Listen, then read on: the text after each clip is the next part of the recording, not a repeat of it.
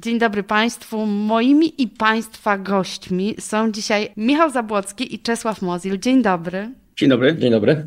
Spotykamy się tu w związku z najświeższym dokonaniem Chodźmy na ławeczkę, ale chciałabym cofnąć się o te 20 lat i zapytać, jak doszło do Waszego muzycznego spotkania? No i teraz pytanie, kto pierwszy zacznie, bo zwykle, mm, zwykle mamy z tym kłopot. Czesław ma inne, inną wersję, ja mam trochę inną wersję, ale na tym polega atrakcja chyba tak, tego. Tak, tym razem proszę, żebyś ty zaczął. Dobra, to ja zacznę.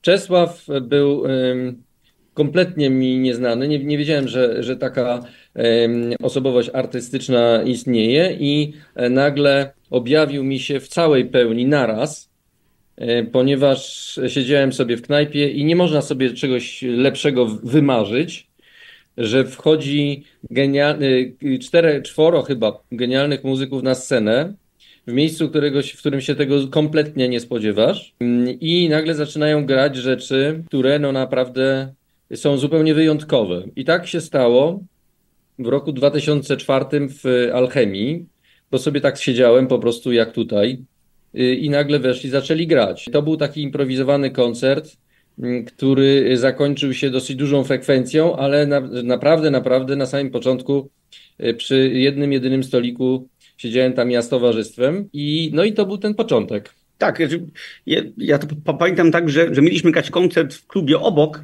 Z niewiadomych powodów ten koncert nagle nie, no nie, nie było nikogo nawet w klubie, więc, więc przenieśliśmy się do Alchemii i tam y, na Placu Nowym chodziłem z megafonem i też starałem się, żeby ktoś wpadł. To były takie początki naszych przyjazdów z zespołem Teskowaliu, ale nie ukrywam, że właśnie wtedy spotkałem Michała, Michała Zabłockiego. Też nie wiedziałem, kto jest Michał Zabłocki, y, no bo jako emigrant mieszkający w Danii, to no nie znałem polskiej kultury, oprócz tego, co mama mi puszczała, ale to już były starsze rzeczy a nie współczesne, więc że jak patrzę wstecz na to, no to, no to zmieniło moje życie, to spotkanie, a można powiedzieć, że zmieniło chyba wspólnie nam tak życie, że już stworzyliśmy ponad 150 piosenek razem wspólnych, no i, no i, no i się przyjaźnimy i, i wydaliśmy płytę razem, co, co jest coś fantastycznego. To jest poeta, e, twórca tekstów piosenek. Nie będę tego wszystkiego tu wymieniać. Spotyka muzyka i od razu się czuje, że to jest ktoś, z kim się super będzie współpracować. Jak to wygląda, właśnie wyławianie e, kogoś takiego? No nigdy nie ma pewności, że będzie się z nim. To tylko mm, widać było na scenie, że warto. Natomiast e, żadnej pewności nie ma, to jest zawsze ryzyko. E, potem to się rozwija albo się nie rozwija, albo ktoś mówi daj sobie spokój, w ogóle mnie to nie interesuje, e, albo cię olewa, albo, albo okazuje się, że, że, że tak, że coś tam iskrzy. No i tutaj nam zaiskrzyło, wszystko się jakby zgodziło na początku, no ale to też daleka droga, daleka, daleka, daleka do tego, co jest teraz, mm, a co jest takim, można powiedzieć, no, zupełnie nowym etapem w naszej, w naszej współpracy. Więc to się tak układało w sposób nieoczywisty wcale. Nie musiało tak wcale być. Czesław, teraz zapytam e, Ciebie, czy Ty pamiętasz ten pierwszy moment, kiedy e, ktoś, właśnie Michał Zabłocki, ale jeszcze powiedzmy wtedy ktoś, przychodzi do Ciebie i proponuje Ci Przepraszam, myślę, że mógłbyś zaśpiewać moje teksty. To, to nie było takie e, takie troszeczkę dyskomfortowe, że będziesz e, wczuwał się w czyjąś poetykę. No, ani, ani trochę, bo, bo prawda jest taka, że, że cały koncert, który grałem, na którym Michał był, ja śpiewałem wtedy po angielsku. Nigdy po duńsku też nie śpiewałem. I, I też nie ukrywam, że nawet do dziś język polski jest mi, mimo że moja żona twierdzi, że nawet mam wzroty i używam słów, którzy osoby w moim wieku dzisiaj nawet nie używają, e, co nie zmienia faktu, że kaleczę polski język, mam dużo braków, więc jak ktoś przyszedł, Michał przyszedł i zaproponował, czy nie chciałbym więcej zaśpiewać po polsku, no to, to, to, to było dla mnie no, jakaś, jakaś forma akceptacji tego, co robię, prawda? No, trzeba też zrozumieć e, inaczej. No, powiem tak, dla mnie każda wizyta kiedyś, 20 lat temu w Polsce, czy to były coroczne wakacje u cioci w Wągrowcu, czy to było potem branie swój zespół, swoich przyjaciół ze Szwecji i Danii i odwiedzać Wrocław, Kraków, Katowice, Pszczynę, no to, to było coś bardzo emocjonalnego. Jeżeli ktoś przychodzi nagle i mówi, hej chłopaku, to jest bardzo fajne i miłe i może byś miał ochotę ze mną współpracować. I to mówi osoba, która mówi po polsku do mnie.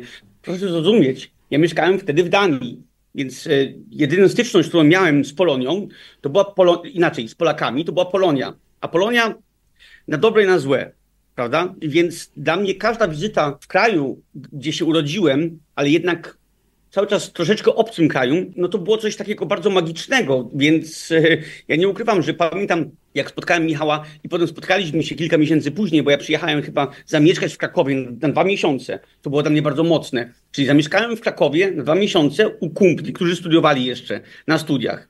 No to było bardzo coś niesamowitego i spotkałem się z Michałem, siedzieliśmy z tekstami i prawda jest taka, że mimo, że to nie były trudne teksty, no to co czwarte słowo, może przesadzam, ale dużo słów musiałem pytać szczerze Michała. Michał, ja nie rozumiem tego, tego, tego słowa. Fatalnie by było, gdybym był wychowany w Polsce nie rozumiejąc te słowa, bo wtedy bym udawał. A wychowałem się w Danii, gdzie, gdzie, gdzie mówią młodzieży, w Danii uczą młodzież, musisz się przyznawać do swojej niewiedzy i przyznawać się do swoich błędów. Więc to była bardzo cudowna, jakby to spotkanie, czułem się bezpieczny. To jest bardzo ważne przesłanie. Ja bym to chciał tutaj też podjąć, przepraszam bardzo, że się wbiję, bo to jest takie przesłanie, które nam bardzo by pomogło e, w Polsce, żeby przyznawać się do błędów i łatwością od nich odstępować jeżeli, no nie upierać się w każdym bądź razie, że jak ja już coś raz zrobiłem, to już muszę e, stać za tym do końca życia, prawda? E, niekoniecznie e, to, co robię, jest bezbłędne i to dotyczy tak samo wymowy, jak i pisania, jak i twórczości. Też to znam od strony właśnie takiego no, ciągłego gdzieś tam poprawiania swoich własnych rzeczy. Do tego stopnia można to opisać jako rodzaj karykatury, że jak staję na scenie i mam zaśpiewać swój własny tekst, to często mam problemy, bo zawsze mi się wydaje, że powinienem go napisać troszkę inaczej, e, coś poprawić i cisną mi się na usta inne słowa. Cisną mi się na usta e, słowa jakieś, które mogłyby być jeszcze inne, które mogłyby być jeszcze lepsze. E, Ojej, to Przepraszam, to, to jest zboczenie zawodowe. Michał. Tak, to jest zboczenie zawodowe i to jest bardzo trudne, dlatego że jednak wykonawca sceniczny musi opanować materiał takim, jaki on jest, a osoba pisząca raczej pracuje nad tym, żeby pewne rzeczy albo zapomnieć jak najszybciej, albo żeby je poprawić, ale nigdy, żeby one były takie, jakie, jakie są. Więc tutaj to, są, to jest konflikt interesów. Tego po angielsku mówi się kill your darlings, czyli, czyli jakby no, w, jakim, w jakim momencie trzeba po prostu odpuścić i puścić to, co się zrobiło, prawda? Czy to muzycznie, czy właśnie, jak Michał mówi, no tekstowo, no to nie ukrywam, że aż się zrobiło mi bardzo gorąco, bo śpiewając, powiedzmy, swój tekst, myśląc, y, ja, ja nie jestem taki błyskawi, błyskawiczny i mój intelekt na to nie pozwala, ale to musi być straszny, Michał, jeżeli ty śpiewając coś, myślisz, że mogłeś to zrobić inaczej. No tak. to znaczy, że się, no to, czyli jest, jesteś cały czas w procesie danej piosenki.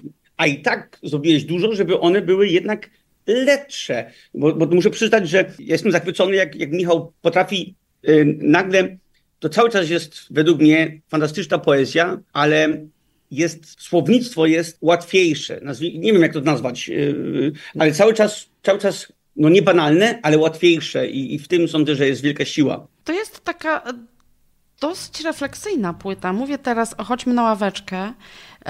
Taka troszeczkę gorzka, ale też niosąca przesłanie. No na przykład Szkoda Życia, gdzie niesiecie taki przekaz, że, że no, życie jest za krótkie, że szkoda go na jakieś takie byle jakości to takie przesłanie właśnie, żeby trochę rozproszyć te mroki jesieni, bo przypomnijmy, że płyta miała e, premierę miesiąc temu w ogóle na te mroki życia. Czasem chyba zbytnio popadamy w tą taką byle jakość i szarość.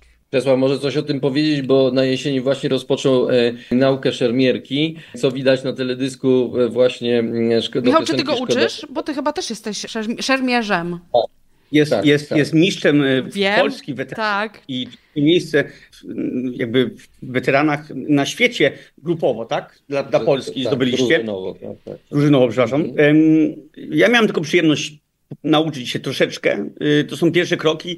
Ja nie ukrywam, że tak szybko, to może zboczę z tematu, ja, ja chyba szybciej chciałbym się nauczyć y, tańczyć, przepraszam Michał, y, bo, bo tak sobie uświadomiłem, że 15 lat odmawiam taniec z gwiazdami, dlatego że moja żona mówi, nie umiesz tańczyć. Ale nie ukrywam, chciałbym powiedzieć, żeby znaleźć dyscyplinę i czas, to bym z wielką przyjemnością chciał chodzić na, na szable czy na szermierkę, bo uświadomiło mi, że każdy sport to nie jest bieganie, to nie jest siłownia, to nie jest każda forma ruchu i czegoś, co jest inne niż to, co się robi na co dzień, jest bardzo, bardzo, bardzo cenne. Jak czasami stoję w jakimś kręgu ludzi i ludzie mówią, że usiądź. A ja mówię, jak, jak mam usiąść, jak ja 7 godzin prowadziłem z Warszawy do koło brzegu. Więc moje życie jest być na scenie i prowadzenie samochodu. Wydaje mi się, że Michał tak samo ma. Yy, może nie takie długie trasy, ale ja nawet nie wiem, jak Michał prowadząc klub, to, to już opowiesz, klub przemierczy, yy, szabli, znajduje na, na to wszystko czas, więc y, teledysk y, Szkoda Życia polecamy bardzo, bo jest y, fajną pamiątką na, na, na, to spotkanie. Muszę powiedzieć, przepraszam bardzo, że Czesław ma teraz biały szermierczy dres, to zobowiązuje i tak łatwo się nie wymika. Bardzo chcieliśmy nagrać płyty wspólnie. Ja poprosiłem Michała, że sądzę, że to jest dobry pomysł, dlatego że znamy się tak, tak dobrze, sprawdziło, że czujemy się dobrze w swojej obecności na scenie, poza sceną, ale też artystycznie, że według mnie to był bardzo łatwy proces, mimo że y, więcej pracy miał Michał, no bo jednak jest kompozytorem i, i autorem tekstów i piosenek, no to mi było łatwo i cudownie się dołączyć do, do tego świata, do Michała Świata. Mamy taką nadzieję, że spotkamy się z publicznością w różnych miastach w naszym kraju i myślę, że takie mam nadzieję, Michał, że będziemy kontynuować. Michał ma swoje poboczne projekty, ja mam swoje poboczne projekty, ale myślę, że nie, nie wiem, co by się miało wydarzyć, żebyśmy się znudzili sobą. No, będziemy się chyba zaskakiwali dalej dzięki temu nie będziemy się nudzili. Bo w każdym z nas jest taki potencjał zaskoczeń, że myślę, że spokojnie jakoś mam nadzieję, że wszystkie będą bardzo pozytywne. No, tak naprawdę myśmy zaczynali, trzeba powiedzieć, od zera. To znaczy, Czesław buduje swoją karierę e, sceniczną, solową. Ja, można powiedzieć, jeżeli chodzi o scenę, to w ogóle nie istniałem, więc e, te, te wspólne występy trochę było tak e, zupełnie znikąd, prawda? Więc tutaj większa odwaga, dużo większa odwaga była po stronie Czesława, że on się zdecydował mm, ze mną wyjść na scenę z takim gościem, który no, tak naprawdę wcześniej nie udowodnił, że jest w stanie coś, coś zaprezentować, więc tu była odwaga z jego strony. Z mojej strony to była, można, to, można powiedzieć, taka bezczelność bardziej niż odwaga, no ale można to też nazwać odwagą może. Ja tylko chcę powiedzieć, przepraszam już krótko, że jest to bardzo inspirujące i to powtarzam w wywiadach, że, że jednak znam bardzo dużo ludzi, którzy jedyne o czym myślą, to, to, to myślą o emeryturze. I, i, I mi to zawsze zadziwiało, bo, ale w jakim momencie, to co będziesz robił, jak pójdziesz na emeryturę? No, jeszcze do końca nie wiedzą, ale mają dużo planów. A dla mnie Michał jest osobą, która działa i robi wszystko tak, jakby, jakby miała 20 lat, a jednak debiutuje w wieku 60, jeżeli chodzi o swoje piosenki.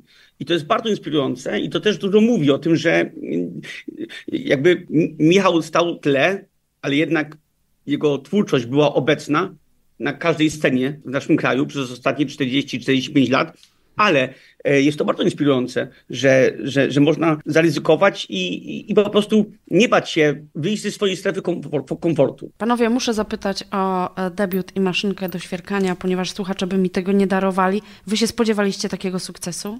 Nie da się spodziewać, to zaraz opowiem. Jeżeli piosenka nawet nie ma refrenu, tylko ma dwie zwrotki i outro. Dzięki Bogu, póki co jeszcze jest miejsce na różne piosenki i to, to, to, to trudno się spodziewać. Ale Więc ja... to musiało być Czesław dla ciebie jeszcze szczególnym zaskoczeniem, bo ty wtedy zupełnie debiutowałeś, też byłeś taki, no sam powiedziałeś, że jeszcze nie do końca rozumiałeś język polski, a tu nagle no wszyscy się zachłysnęli. Jakby rozumiałem polski język, ale rozumiałem też, jakie mi sprawia trudności ale nie da się przewidzieć czasami czegoś takiego. To tak jak pani zapytała, czy, czy Michał się spodziewał z Grzegorzem Turnałem, że te piosenki staną się właśnie tak kultowe. No, no, no, no, chyba też nikt z Was się nie spodziewał tego. Nie, nie spodziewał się. I tutaj, jeżeli chodzi o debiut, to znaczy, mnie się wydaje, że Czesław był bardzo, hmm, jakby to dobrze ująć, był bardzo optymistycznie patrzył przy debiucie w, w możliwości. Myślę, że widział od samego początku tę atrakcyjność tego duńskiego innego zespołu e, na polskim rynku i że widział, że, że tutaj robi coś nowego e, pod względem takim muzycznym. Tak mi się wydaje. E, a ja byłem pewien, że robimy też coś nowego pod względem takim no, tekstowym. Ja co prawda obstawiałem zupełnie inne piosenki na płycie, bo jak do ostatniej chwili żaba to nie w betonie wydawała się bardziej nośna niż, ale ostatnie szlify studyjne pokazały, że i tak to jest dziwne, że czasami tak jest, że, że dopiero ostatni, ostatni jakiś szlif właśnie taki produkcyjny daje piosence coś takiego, że ona nagle wyrasta na, na, na jakiś przebój, prawda? No, I tak to się stało z tak. maszynką. Ja, ja, ja, chcę dodać, że, że, Michał wydał książkę teraz właśnie z tekstami. Książka nazywa się Maszynka do świerkania. I Maszynka do świerkania, teksty z krainy absurdu. Tak. I, I, to jest cudowna książka, która jakby Michał wybrał. Ja, ja nie wiem, ile, ile tych tekstów już macie. To jest ponad nie wiem, ile, ile napisaliście wspólnie z internatami. To znaczy, to już jest projekt zamknięty, ale przez 20 blisko lat pisania na czacie napisaliśmy ponad 800 tekstów z czego właśnie 10 znalazło się na tym albumie debiut. Mm. To, są, to były pisy, teksty pisane na czacie i wydaliśmy w tym momencie e, taki wybór tych tekstów. No i, i, i to jest po wielu latach, można powiedzieć, tak świetnie się to rymuje z, z naszą ostatnią płytą, bo jest powrotem do do początku. I ja, ja dodam ostatnio, że jak przeglądałem książkę, którą właśnie mam od Michała, to tak stwierdziłem, no w sumie ja i tak będę robił różne rzeczy. Będę, jak teraz, to jest wielka przygoda pracować z Michałem, ale myślę, że przyjdzie jakiś moment i to naprawdę to nie będzie skok na kasę, no bo środowisko będzie miało swoje poglądy na to. Ale od razu chcę powiedzieć, że przyjdzie moment, gdzie chciałbym wrócić do tych wszystkich tekstów, które właśnie nie były, no bo no, trudno napisać 800 piosenek, ale Myślę, że w jakimś momencie będzie fajnie celebrować, bo nic nie było łatwiejszego niż napisać melodię do tych cudownych tekstów. Generalnie jest bardzo łatwo według mnie pisać melodię do tekstów, które Michał pisze, więc y, nawet nie wiem, czy to nie będzie jedna płyta, czy to nie będzie tryptyk. Y, przyjdzie moment, gdzie po prostu trzeba będzie to uwiecznić i, i, i żeby właśnie celebrować to spotkanie artystyczne i trochę bez obciachu mogę powiedzieć, troszeczkę wpłynęliśmy na polską no, popkulturę. To już mamy y, nie tylko pomysł na emeryturę, ale pomysł na y, to, co będzie po mojej śmierci. Po prostu Czesław ma rezerwuar piosenek do napisania na, na ludzie. Tak jest. A my polecamy gorąco zarówno książkę, o której się teraz dowiedzieliśmy, jak i płytę Chodźmy na ławeczkę. Ja dziękuję za spotkanie. Moim i Państwa gośćmi byli Michał Zapłocki i Czesław Mocil. Dziękuję. Dziękuję bardzo.